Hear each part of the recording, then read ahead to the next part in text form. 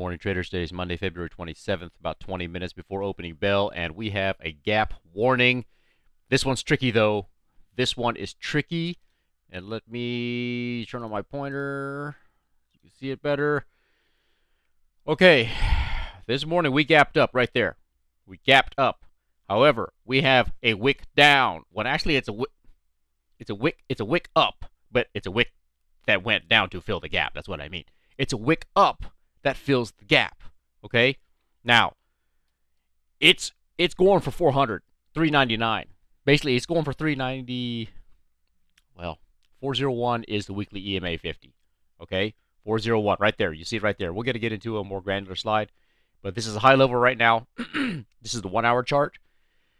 RSI 98. That is through the roof. Okay? 98. Now, keep in mind the one hour MACD is right at the zero line, right at the zero line. It's where it could, and I think it, uh, I think it probably will come up to the uh, likely the 401 area, and then get rejected because that's where the the weekly EMA 50 is, and then it's going to stop right at the zero line, and it's going to be forced to come down and consolidate again so that it can try again.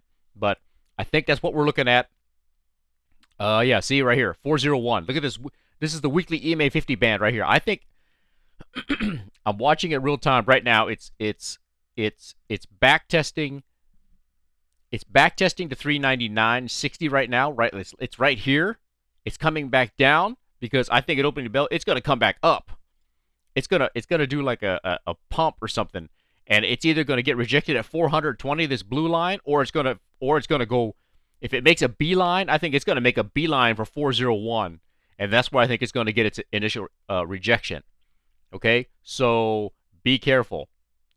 Here's the gap. Here's that wick. So I'm, I'm asking the question: Is it a wick fill? Uh, there what? Well, there currently is bearish divergence right here, but that divergence could be invalidated if it keeps going up. Also, so we could be looking at okay, so here's the gap. Keep in mind, on Friday, in the final 30 minutes, it successfully retook the EMA 50 right here. It retook it in in in uh, in, in in the regular trading day. So that therefore, it doesn't necessarily have to come back and retake it here in the morning. See what I mean? It doesn't have to because it already took it back in the final 30 minutes. So this is this has a lot of conflicting data. Is it basically it boils down to this? Is it going to be one, a gap and go, two, a gap and crap, or three, gap and go in the morning, crap in the afternoon? It's going to be one of those three. Okay? So yeah, that's what it boils down to. You gotta you gotta react to this. I can't tell you which one it's gonna be. But I think if it makes a beeline in the morning, first thing at opening bell, it's going straight for this 401.11. It's going straight for this weekly band. This is the weekly EMA 50 that has denied the markets in all of 2022. So keep that in mind. So I, I do expect if it makes a beeline straight for, oh, you're going to get rejected. You're not just going to take that back. There's no way. So you're going to get rejected if it makes a beeline. Or it could get rejected right here at 420. You see what I mean? It's already right there. Um, it's now it's now it came down and it's now consolidating right under 399.80 right here. It's consolidating right here as I'm talking. So this is this is what I got for you guys. You just got to be careful. I don't know which way which one of these scenarios is going to play out, but just know that if it makes a beeline right at opening bell, uh, I, I wouldn't go long.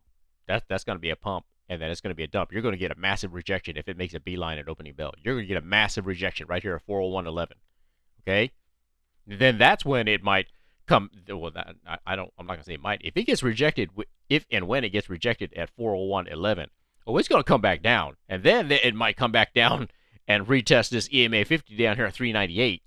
See what I mean? And then it might say, well, let's just go ahead and go ahead and fill that gap too.